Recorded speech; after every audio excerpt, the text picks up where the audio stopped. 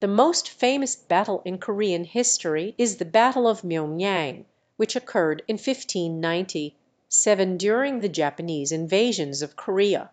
The Korean naval commander, Admiral Yi Sun sin, led a small fleet of ships against a much larger Japanese fleet, and was able to emerge victorious due to his strategic skill and the bravery of his men. The battle is known for its David and Goliath like story, and is considered a turning point in the war.